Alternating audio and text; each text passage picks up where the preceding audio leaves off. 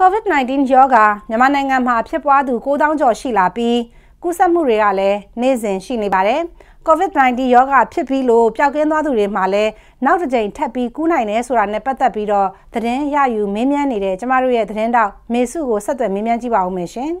။မေစုရဲ့ဒီ COVID-19 ဖြစ်ပွားတာကရောဂါကူးစက်ပြီးလို့ပျောက်ကင်းသွားပြီဆိုပြီးတော့လေအဲအဲ့ဒီသူတွေမှာနောက်တစ်ခါထပ်ပြီးတော့ဖြစ်နိုင်သလားဒါနဲ့ပတ်သက်ပြီးတော့ကျမရေးဌာနဘက်ကဘာများပြောထားပါလဲ။ ဟုတ်ကဲ့အမရေအခုဆိုရင်ပေါ့နော်ဒီ COVID-19 ရောဂါဖြစ်ပွားပြီးသားလူတွေကပေါ့နော်ထပ်ပြီးတော့ဖြစ်နိုင်ခြေရှိရဆိုပြီးတော့ဒါကျမိုက်ဌာနဘက်ကပြောထားတာရှိပါတယ်ဒါကျမိုက်ဌာနပေါ့နော်ဘိုကူးဆက်ရောဂါတိုက်ဖျက်ရေးဌာနကညီကြမှုဒေါက်တာခင်ကြီးကပြောထားပါတယ်ဒါလူကဆိုရင်ပေါ့နော်3လနောက်ပိုင်းမှာဖြစ်ပြီးသားလူတွေအနေနဲ့3လနောက်ပိုင်းမှာသူတို့ရဲ့ antibody ကကျသွားတဲ့အချိန်ဒီ COVID-19 တွေကမျိုးကွဲတစ်ခုနဲ့ကြုံရင်ဒါပြန်ဖြစ်နိုင်တဲ့အနေအထားရှိတဲ့ကြောင့်ဖြစ်ပြီးသားလူမှာပြန်ဖြစ်နိုင်တယ်လို့သိရပါတယ်။ကမ္ဘာပေါ်မှာဆိုလို့ရှိရင်လည်းဒါ25ယောက်က ပြန်လည်ဖြစ်ပွားတာကိုပြန်တွေ့ထားရဆိုပြီးသိရပါတယ်။သုတေသနစာတမ်းတွေအရဆိုလို့ရှိရင်ပေါ့နော်။ဒါကမ္ဘာ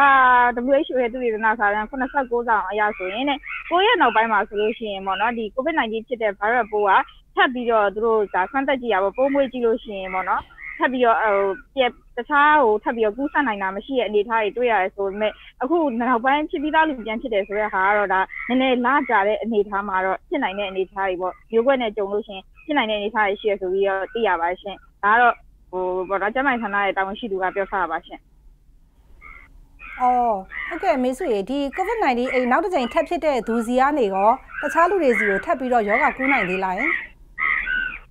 ဟုတ်ကဲ့ပါ COVID-19 နောက်တစ်ကြိမ်ထပ်ဖြစ်တဲ့လူစီကနေပြီးတော့တခြားလူတွေကိုဒါယောဂကူးစက်နိုင်တဲ့အနေအထားရှိတယ်လို့သိရပါတယ်ရှင်ဒီမှာလည်းအခြေအနေအမျိုးမျိုးရှိတာဖြစ်ပြီးတော့ဒီနောက်တစ်ကြိမ်ထပ်ဖြစ်တဲ့လူအနေနဲ့ဆိုလို့ရှိရင်ပေါ့နော်သူတို့အနေနဲ့ပြန်ဖြစ်တဲ့ result တွေကိုကြည့်ရမယ်ဆိုပြန်ဖြစ်သူကတော့သိပြီးတော့ယောဂအနေထားကိုစိုးစိုးဝါးခံစားရတာမရှိဘူးပေါ့ချိုရင်းချက်အဖြစ်ဟိုနည်းနည်းပါးပါးပဲရှိရပေါ့အများသောအဖြစ်ကတော့သိပြီးတော့ယောဂစိုးစိုးဝါးမ ဖြစ်နိုင်တော့အနေအထားမရှိဘူးအဲ့အတွက်ကြောင့်မလို့ပေါ့နော်သူတို့အနေနဲ့ဆိုလို့ရှိရင်ဖြစ်ပြီးသားလူကိုစိတ်ယုံတက်ခိုင်းမဲ့အနေအထားတွေကြောင့်လဲသူ့ရဲ့ယောဂလက္ခဏာအခြေအနေပေါ်မူတည်ပြီးတော့ပေါ့နော်စိတ်ယုံတက်တင်တက်မယ်မတက်တင်လို့ရှိလို့ရှိရင်ဒါခတ်ဟိုခွဲကြပြီးတော့ပေါ့နော်ဒီထိုင်ပြီးတော့ဒီထိုင်စေမယ်ဆိုလို့ရှိရင်ဒါအဆင်ပြေရဆိုပြီးတော့သိရပါတယ်ရှင်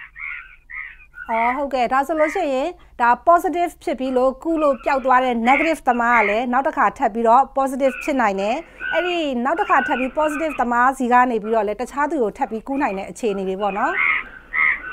ဟုတ်ကဲ့ပါရှင်ဒါဆိုရင်ထပ်တိုးအတီးပြုလူနာတွေနဲ့ပတ်သက်ပြီးတော့ရောထူးခြားတာတွေဘာတွေများသိထားပါသေးလဲ ဟုတ်ကဲ့ပါအခုဆိုရင်ပေါ့နော်ထပ်တိုးအတီးပြုလူနာအနေနဲ့ဆိုလို့ရှိရင်လူနာဒီအတီးပြုဟိုဓာတ်ခွဲနမူနာပေါ့နော်ဓာတ်ခွဲနမူနာအနေနဲ့ဆိုရင်18000ကျော်စစ်ဆေးတဲ့နေရာမှာ1486ဦးထပ်တွေ့ရလို့သိရပါတယ်ဒီအတွက်ကြောင့်မလို့ဆိုရင်မြန်မာနိုင်ငံမှာဆိုလို့ရှိရင်လူနာ9289ဦးဒါ COVID-19 ကူးစက်ခံနေရပါတယ်တည်ဆုံးသူကလည်း32ဦးရှိရဆိုပြီးသိရပါတယ်ဒီထဲမှာလည်းနောက်ခံယောဂအခြေအနေပေါ့အကြောင်းတည်ဆုံးတာကြီးလည်းပါဝင်နေရပေါ့နော်ဒီထဲမှာထူးထူးခြားခြားထပ်ပြီးတော့တွေ့ရတာတော့ပေါ့နော်ထပ်ပြီးတော့ဒီကူးစက်ပြီးတော့ဟိုမှာပေါ့နော် ကူးစက်ပြီးတော့မှထပ်ပြီးတော့ပြန်လည်ဖြစ်ပွားတယ်ပေါ့ COVID-19 အရင်တော့ဖြစ်ပွားတဲ့ရခင်လူနာဟောင်းကနေပြီးတော့ထပ်ပြီးတော့ထပ်ကူးစက်ထားတာကိုလည်းထပ်ပြီးတော့သိရှိထားရဆိုပြီးသိရပါတယ်ဒါကတော့ပေါ့နော်အင်းစိတ်မျိုးနယ်လိပ်စာနဲ့ဆိုပြီးတော့ဒီဖော်ပြထားတဲ့လူနာတူရှိတယ်ဒီလူနာဆိုရင်အရင်တော့လည်းအင်းစိတ်မျိုးနယ်လိပ်စာနဲ့ဆိုပြီးပြောထားတယ်ဒါပေမဲ့သူ့ကိုလိုက်လံစုံစမ်းကြည့်ရခါမှာတော့မျိုးနယ်နှစ်မျိုးနယ်သုံးမျိုးနယ်နေထိုင်မှုနေထိုင်မှုတွေရှိတယ်သူ့မှာပေါ့နော်အတိအကျလိပ်စာမရှိဘူးဆိုတဲ့အနေအထားတွေ့ရပါတယ်ရှင်အဲ့လူနာထပ်ပြီးတော့ဖြစ်တာပါလူနာနံပါတ်16ဆိုပြီးတော့သိရပါတယ်ရှင် ဒီဒီလူနာအနေနဲ့ဆိုလို့ရှိရင်ပေါ့နော်သူကရန်ကုန်စေယုံကြီးမှာအာသူ့ရဲ့ယောဂါကိုသွားပြီးတော့စစ်ဆေးရနေပြီးတော့တွေ့ရှိရဆိုပြီးသိရပါတယ်သူထပ်ဖြစ်တယ်မဖြစ်ဘူးဆိုတဲ့အနေအထားကိုပေါ့နော်ကျမကြီးဌာနအနေနဲ့ထပ်ပြောထားတာဒီလူနာရဲ့အကြောင်းတော့ဒါသူတို့အနေနဲ့မသိဘူးတေချာတော့ထပ်ဖြစ်တယ်မဖြစ်ဘူးဆိုတာမသိရသေးဘူးပေါ့နော်သူ့ရဲ့အနေအထားကိုထပ်ပြီးတော့စုံစမ်းစစ်ဆေးရမယ့်အနေအထားရှိရဆိုပြီးတော့သိရပါတယ်ရှင်လောလောဆယ်မှာတော့ဒါထူးခြားဖြစ်စဉ်အနေနဲ့ဆိုလို့ရှိရင်သူက 9လကြာမေလ4ရက်နေ့ကအတည်ပြုလူနာဖြစ်ခဲ့တယ်အဲ့ဒီနောက်ပိုင်းမှာပေါ့နော်ဒီအချိန်9လကြာပြီးတဲ့နောက်ပိုင်းမှာဆက်လက်ပြီးရောယောဂဖြစ်ပွားတာကိုတွေ့ရှိရတယ်ဆိုပြီးတော့လည်းဒါသိထားရတာပါရှင်အော်ဟုတ်ကဲ့ပါမေစုရေအခုလိုပြပြပေးလို့ကျေးဇူးအများကြီးတင်ပါတယ် COVID-19 ရောဂါဖြစ်ပြီးလို့ပျောက်ကင်းသွားသူတွေမှာနောက်တစ်ကြိမ်ထပ်ပြီးကူးနိုင်တယ်ဆိုတာနဲ့ပတ်သက်ပြီးတော့ကျမတို့သတင်းရယူမင်းမြန်းနေတဲ့သတင်းတောက်မေစုကိုဆက်သွယ်ပြီးတော့မေးကြည့်ထားတာပါရှင်ဆက်လက်ပြီးတော့ကြန့်ရှိနေသေးတဲ့သတင်းတွေကိုလည်းတင်ဆက်ပေးပါဦးမယ်ရှင်